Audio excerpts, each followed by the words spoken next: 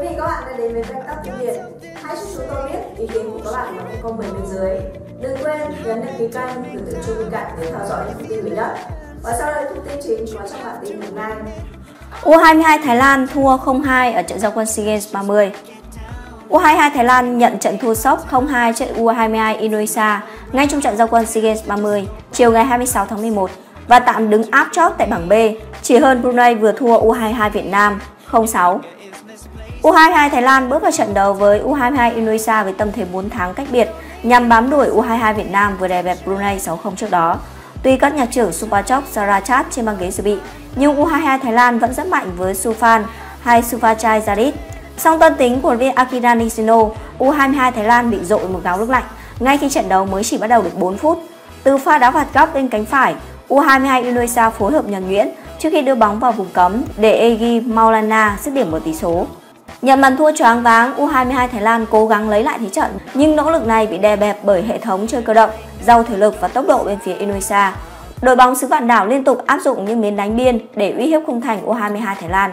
Hàng phòng ngự của voi chiến tỏ ra hoàn toàn bị động và không có phương án hóa giải. Trên hàng công, những ngôi sao như Sufanat hay Supachai đều không thể tạo ra khác biệt với những pha xử lý đơn độc.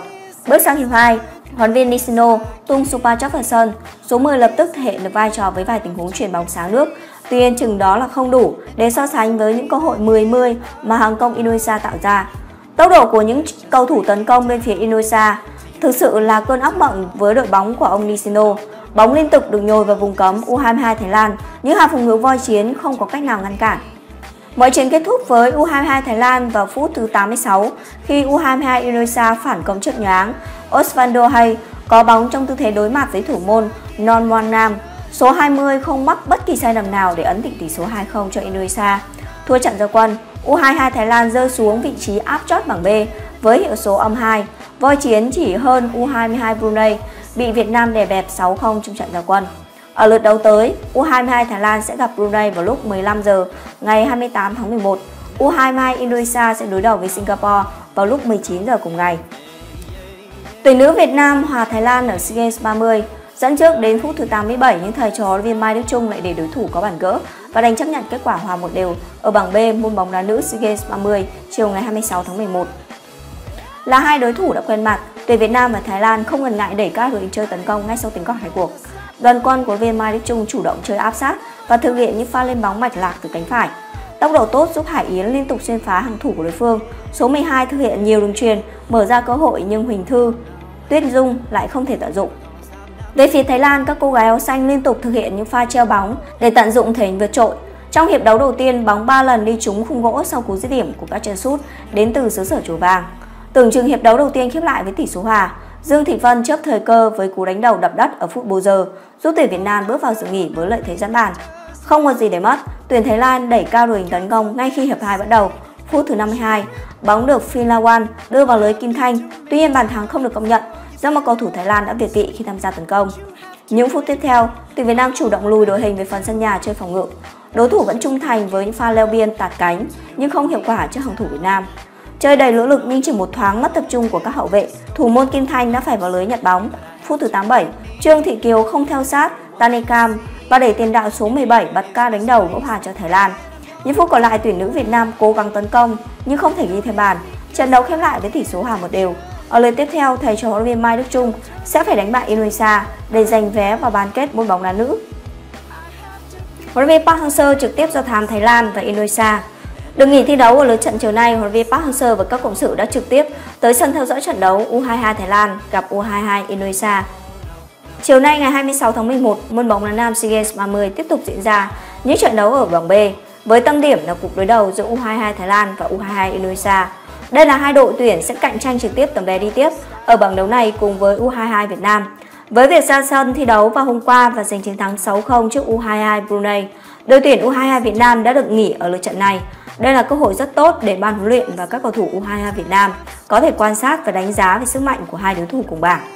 Không bỏ lỡ cơ hội này, huấn luyện Park Hang-seo cùng các cộng sự đã tới sân Ridan Memorial để trực tiếp theo dõi trận đấu giữa U22 Thái Lan và Indonesia. Đi cùng ông còn có tiền vệ Đỗ Hùng Dũng và trợ lý Ni Chong Jin. Chắc chắn với những thông tin thu thập được khi quan sát trận đấu này, chiến lược gia người Hàn Quốc sẽ có sự chuẩn bị tốt nhất cho những trận đấu sắp tới tại SEA Games 30. Quay trở lại với trận đấu diễn ra chiều nay, U22 Indonesia tạo ra cú sốc rất lớn khi dễ dàng đánh bại U22 Thái Lan với tỷ số 2-0. Hai cầu thủ ghi bàn cho đội bóng xứ vạn đảo là Egi Maulana Vicky và Ovando Hay. Với thất bại này, U22 Thái Lan sẽ gặp rất nhiều khó khăn trong chiến dịch bảo vệ ngôi vô địch. Khi ngoài U22 Indonesia, họ còn phải cạnh tranh với U22 Việt Nam tại bảng B, môn bóng đá nam SEA Games 30. Trong khi đó chiến thắng 2-0 trước U22 Thái Lan, Indonesia đang sáng cửa liên tiếp tại bảng đấu này. Hiện tại họ đang đứng thứ hai sau Việt Nam khi có cùng 3 điểm nhưng thua về chỉ số phụ. Huấn luyện viên Park để lại hình ảnh rất đẹp. Sáng nay, huấn luyện viên Park Hang-seo đã tự tay dọn rác thải, chai nhựa ở để U22 Việt Nam, sớm bắt tay vào tập luyện. Việc làm này của thầy Park đã để lại ấn tượng đẹp mắt trong phóng viên các nước và các cổ viên chủ nhà Philippines. Huấn luyện viên Nishino ngắn ngẩm SEA Games, công tác tổ chức SEA Games 30 của chủ nhà Philippines đang gặp rất nhiều vấn đề. Huấn luyện viên Akira Nishino tỏ rõ sự không hài lòng về điều kiện tập luyện cũng như sinh hoạt của U22 Thái Lan. Chiến lược gia Nhật Bản phát biểu đầy thất vọng trước trận giao quân. Trước khi đến Philippines, chúng tôi dự đoán mọi thứ sẽ không thuận tiện. Nhưng sự thật thì điều kiện ở đây còn tồi tệ ngoài sức tưởng tượng của tôi. Tất cả các học trò của tôi đều cảm thấy không thoải mái. U22 Indonesia bị hành xác. Sự cố hy hữu đã xảy ra với U22 Indonesia vào chiều ngày hôm qua. Ban huấn luyện và các cầu thủ xứ vạn đảo phải tự tìm đường và đi bộ hơn 1 km từ nơi ở đến sân tập vì bị xe buýt đưa đón đội bỏ quên. Huấn luyện viên Park cử người do thám bảng A nhằm phục vụ công tác phân tích đối thủ nếu lọt vào bán kết. Hôm qua, huấn luyện viên Park Hang-seo đã cử một trợ lý đến sân Rida Merorian để theo dõi và quay video cả hai trận đấu giữa Malaysia gặp Myanmar và Philippines gặp Campuchia. Đức Trinh nhận danh hiệu đầu tiên ở SEA Games 30, tỏa sáng rực rỡ trong chiến thắng 6-0 của U22 Việt Nam trước U22 Brunei. Đức Trinh đã được ban tổ chức giải chọn là cầu thủ xuất sắc nhất trận kèm theo tiền thưởng 50 triệu đồng. Tuyển nữ Việt Nam ăn uống thiếu chất. Huấn viên Mai Đức Trung cho biết đồ ăn trong khách sạn là không đủ chất, nhưng họ cũng không cho mang đồ từ bên ngoài vào để chế biến. Heraven chúc mừng Văn Hậu và U22 Việt Nam.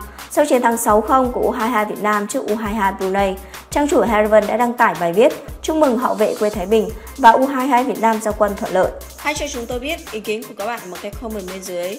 Và đừng quên nhấn đăng ký kênh, gửi tiếng chuông bên cạnh để theo dõi những video mới nhất. Và giờ xin chào và hẹn lại.